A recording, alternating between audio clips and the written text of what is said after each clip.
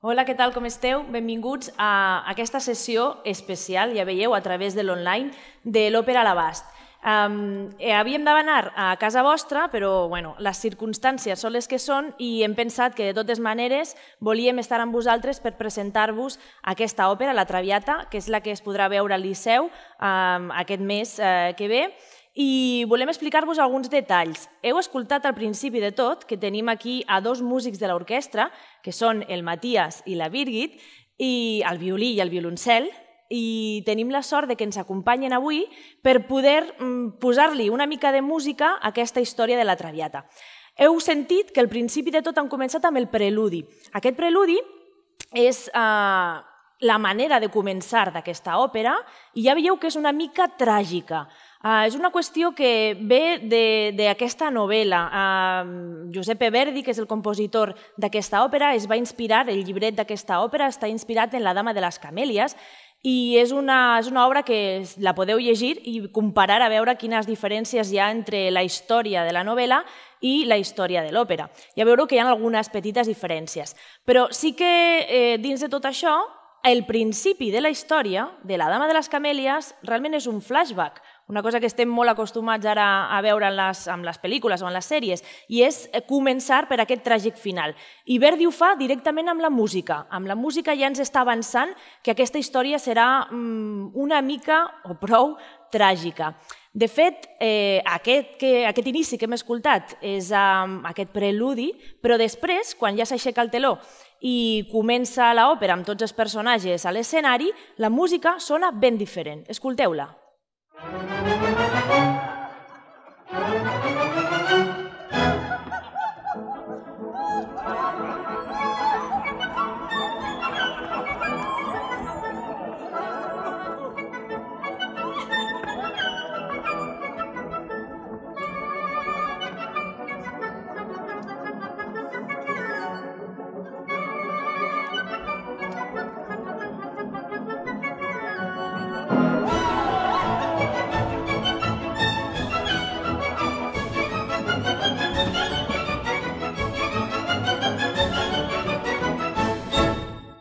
Com heu pogut escoltar, aquesta música, quan comença, ja els, els artistes surten a l'escenari i tots els personatges apareixen, és molt festiva, és molt diferent de com comença uh, aquest preludi que ens va suggerint que la cosa serà molt tràgica.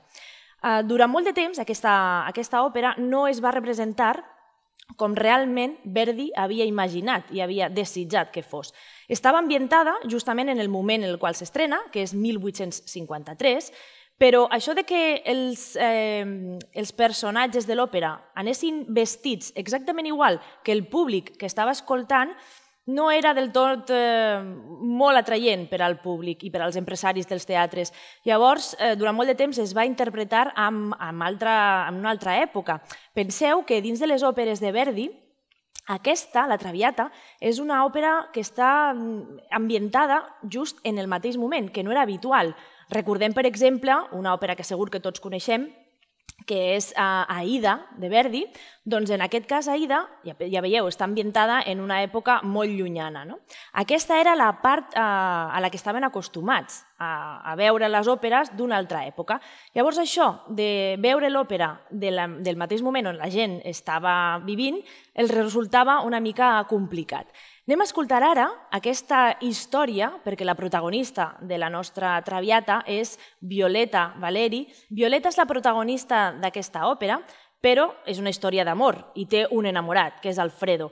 Doncs anem a escoltar una de les àrees més destacades d'aquesta òpera, que és una àrea d'amor entre ells dos. Anem a escoltar-lo eh, amb els nostres músics que tenim aquí amb nosaltres.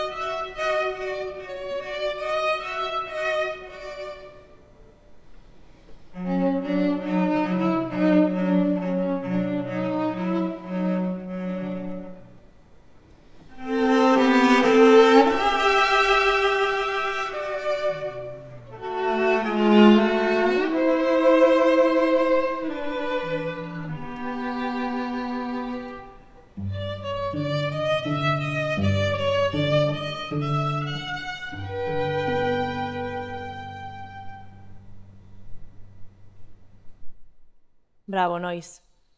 Us aplaudeixo jo, eh? però us arriben els aplaudiments de tots els, els que ens estan veient. Uh, ja, heu, ja heu escoltat que aquesta música i aquesta història és una història d'amor entre Violeta i Alfredo, però també hi ha molta festa, eh? com us he explicat abans. Resulta que Violeta eh, és una prostituta que té una vida eh, en aquell univers i resulta que Alfredo està molt enamorat d'ella. Eh, li proposa eh, deixar aquell món i anar-se'n amb ell. A més a més, hi ha una altra història, i és que resulta que Violeta està patint una de les malalties més importants d'aquell moment eh, i que farà que ella estigui una mica malament i que ja veurem com acaba aquesta història, a veure si és salva o no és salva. Ja, ja us avance que amb el preludi que hem escoltat abans podeu fer-vos una idea de com acaba. Era la tuberculosi, era una malaltia en aquell moment molt important eh, i que, bueno, ja veieu, avui podem comparar-la quasi, quasi que amb unes altres malalties, però òbviament res a veure perquè afortunadament ara mateix la, la sanitat ha avançat una barbaritat i tenim altres, altres vies no, de sortida. Eh, una de les altres històries que us volia explicar és la importància dels cors en aquestes òperes de, de Verdi, com no. I en aquesta també hi ha un cor i eh, també és una manera d'ensenyar-nos aquest realisme que vol posar Verdi en aquesta òpera. És un cor d'unes gitanes i jo crec que els músics, a més a més, ens han preparat un fragment perquè puguem escoltar com sona aquest famós moment. Thank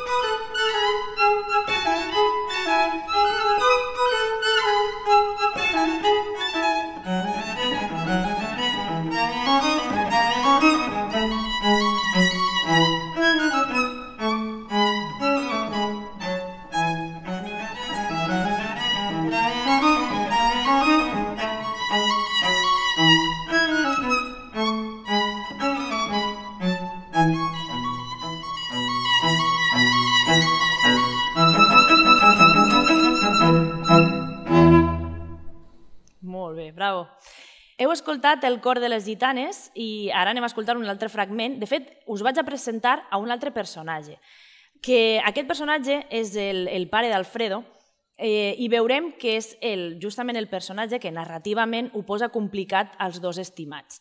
Com, com ho fa això? Doncs quan els dos estimats per fi estan junts i estan tranquil·lament a una casa de camp fora de París, allunyats de tota aquesta vida que tenia Violeta, doncs es presenta a casa d'ells i quan està només Violeta li diu justament que ha de deixar el seu fill perquè, bueno, perquè això de que el seu fill estigués eh, junt amb, amb una prostituta per a la seva família era un estigma molt gran.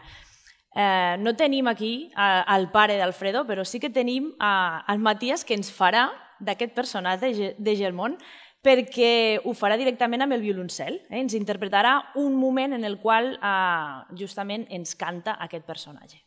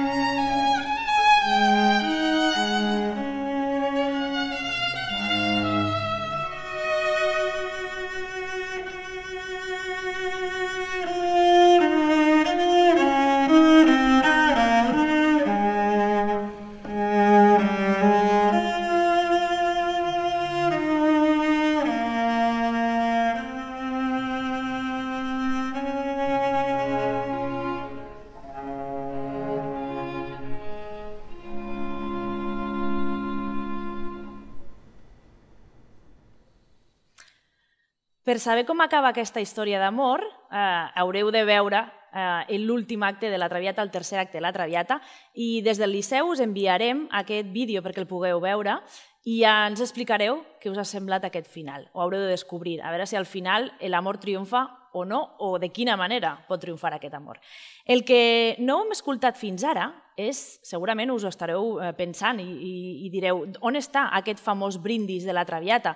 Doncs ho hem deixat per al final. Ja sabeu que no només de, dins de la història de l'òpera és el moment més famós, sinó que fins i tot dins de la història de la música. Aquest brindis de la Traviata jo crec que és un dels més representats i el més interpretats. I com no, ja que tenim els dos fantàstics músics de l'orquestra, el Matías i la Birgit, doncs acabarem d'aquesta manera, amb música, i només us volem desitjar que esperem que us agradi molt aquesta Traviata i que ens veiem al Liceu.